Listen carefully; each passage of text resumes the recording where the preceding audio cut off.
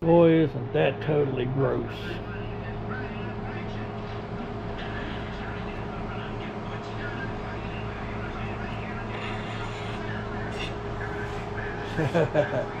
yeah. You. Okay. I got me some more paint. I got some more hardware. I got the uh, grease zerks. I got the cotter pins. I got new bolts. Some of these I had to compromise on. Um, I may clean these ones up and reuse them. Uh, the only ones I could find with the right thread were actually smaller lock washers.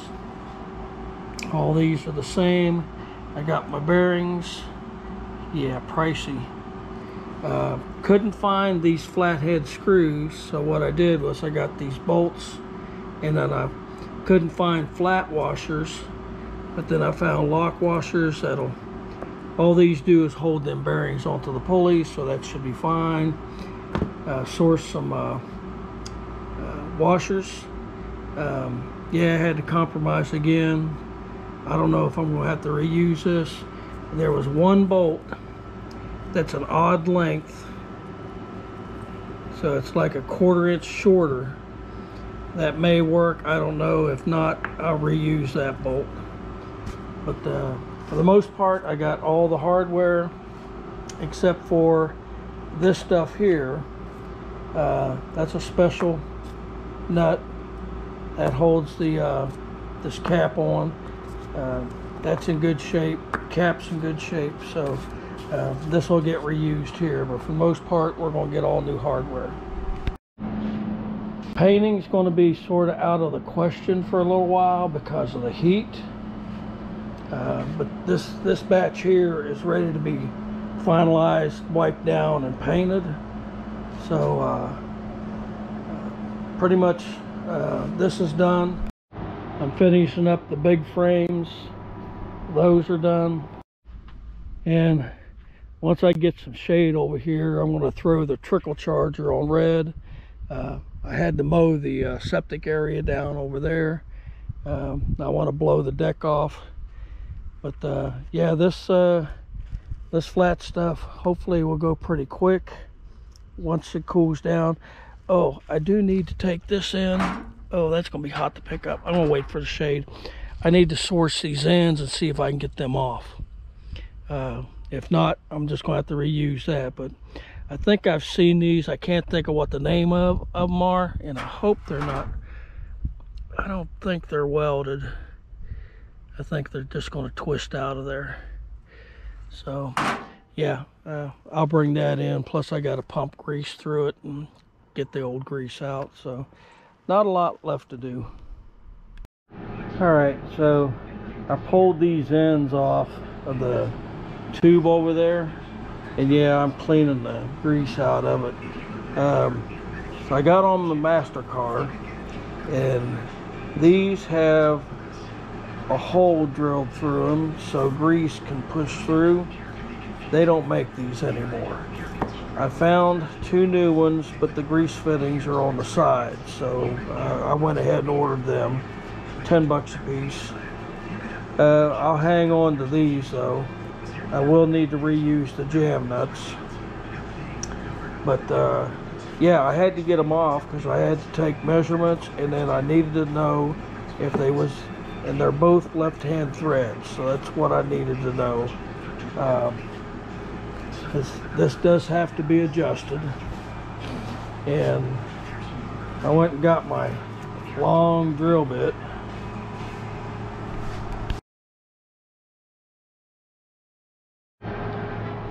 Basically, just wadded up a piece of paper towel and stuffed it here. I put the grease fitting back on. Uh, I'm probably just going to block that off but I wanted to get all this old grease out.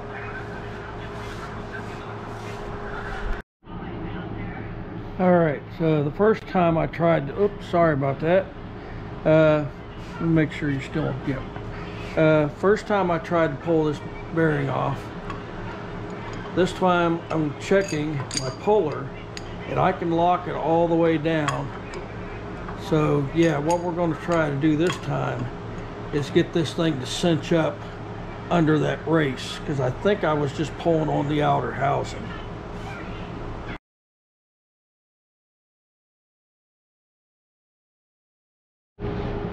Well, I guess I'm going to have to try to get up under that now. But now that I can see where I'm at, maybe that ain't going to be so hard. So let me uh, let me reset and see if I can. Yeah, I think I'm gonna get the torch out too. All right, I'll bring you back. Okay, well, I think I'm definitely under the race now. So I think I'm gonna hook the puller up again and go ahead and hit it with heat and see if we can get it to budge that way. Well, I felt something give. I heated it.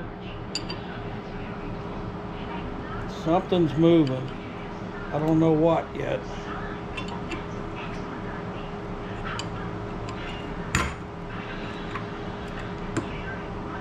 Yeah, it was the puller. All right, I'm gonna have to figure something else out, looks like.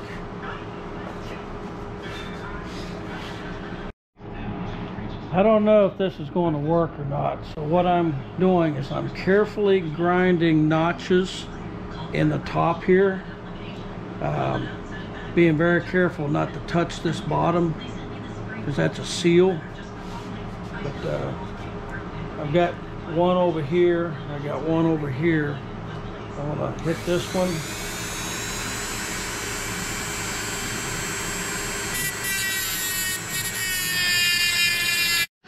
Loud noises. Yeah, this is gonna probably take a while, but it is working.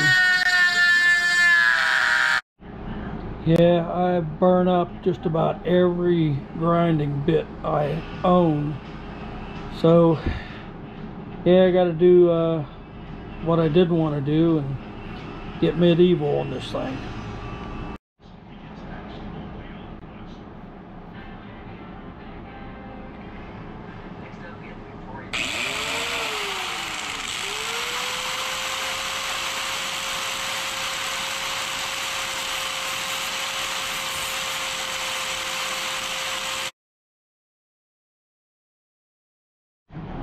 All right, I think I got something. Had to get medieval on it. But uh, it's moving. So I should be able to get this off now. I'm looking this whole part here. I'm seeing I may have been trying to grab it wrong. I was trying to grab it there, but look. Yep, sure enough. I need to grab it under here.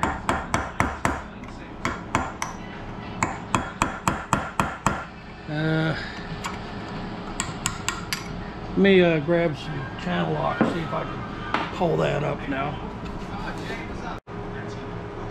I may go back to the puller now. I know where to grab it. Well, it took pretty much all day, but curious to see if I damaged the shaft or not.